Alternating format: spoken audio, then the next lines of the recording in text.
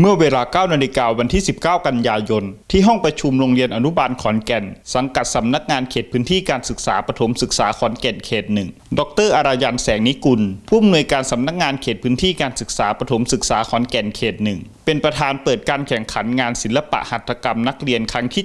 72 ระดับเขตพื้นที่การศึกษาประจำปีการศึกษา 2567 เวทีแห่งการประกวดแข่งขันเพื่อแสดงศักยภาพนักเรียน ตลอดจนเพื่อนำเสนอผลงานนักเรียนครูและบุคลากรทางการศึกษาที่โดดเด่น เป็นที่ประจักษ์ให้ปรากฏแก่สาธารณชน โดยมีคณะผู้บริหารครูนักเรียนในสังกัดสพปขอนแก่นเขตหนึ่งเข้าร่วมในพิธีเปิดกว่า 1,000 คน งานศิลปะหัตถกรรมนักเรียนครั้งที่ 72 ของสำนักงานเขตพื้นที่การศึกษาปฐมศึกษาขอนแก่นเขตหนึ่งในปีการศึกษา 2567 นี้นะครับ ก็ได้ดำเนินการออกเป็น 4 กิจกรรมนะครับ กิจกรรมแรกก็คือ การเข้าค่ายทางวิชาการของนักเรียนนะครับ ซึ่งทุกกลุ่มเครือข่ายทั้ง 10 กลุ่ม ก็ได้เข้าค่ายทางวิชาการเป็นที่เรียบร้อยแล้ว กิจกรรมที่ 2 ก็คือการแข่งขันทักษะทางวิชาการในระดับกลุ่มเครือข่าย และกิจกรรมที่ 3 ก็คือ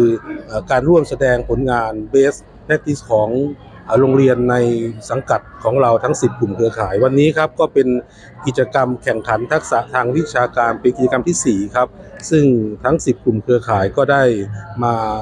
จัดการแข่งขันร่วมกัน ซึ่งต้องขอขอบคุณผู้มีส่วนเกี่ยวข้องทุกท่านนะครับ ทั้งอบจขอนแก่นที่ให้การสนับสนุนงบประมาขอบคุณท่านผู้บริหารโรงเรียน และก็ขอบคุณคุณครูที่ได้ร่วมด้วยช่วยกัน จนทำให้เกิดงานวันนี้ขึ้นครับ ขอบคุณครับอ่ากิจกรรมเพื่อลูกๆของเรานะครับที่อ่าบ่งบอกถึงความรู้ความสามารถความถนัดความสนใจของลูกๆนะครับที่บ่งบอกถึงความเสมอภาคนะครับไม่ว่าเด็ก เขาเจนเขียนหนึ่งนะครับที่อยู่ตามโรงเรียนต่างๆนะครับหลายโรงเรียนนะครับได้มีโอกาสนะครับมาแข่งขันศิลปะการอยู่ตรงนี้นะครับถือว่าเป็นสุดยอดช้างเผือกนะครับ อาจจะค้นพบอยู่ในป่าวันนี้นะครับถือว่าเป็นโอกาสของลูกๆได้มาแสดงศักยภาพนะครับอ่าทางสำนักงานเขตพื้นที่การศึกษาของเขตหนึ่งนำโดยท่านผู้ว่าการสำนักงานเขตพื้นที่นะครับท่านได้นะครับอ่าแต่กิจกรรมนี้เกิดขึ้นนะครับ ก็ได้รับความสนับสนุนจากองค์การบริหารส่วนจังหวัดขอนแก่นนะครับภายใต้นะครับ นโยบายของท่านรัฐมนตรีว่าการกระทรวงสาธารณสุขนะครับเรียนดีมีความสุขครับก็ต้องขอบคุณทุกคนนะครับที่ให้ความสนใจโดยเฉพาะผู้ปกครองนะครับให้ความร่วมมือภาคีเครือข่ายต่างๆนะครับที่ให้ความร่วมมือนะครับในการจัดการครั้งนี้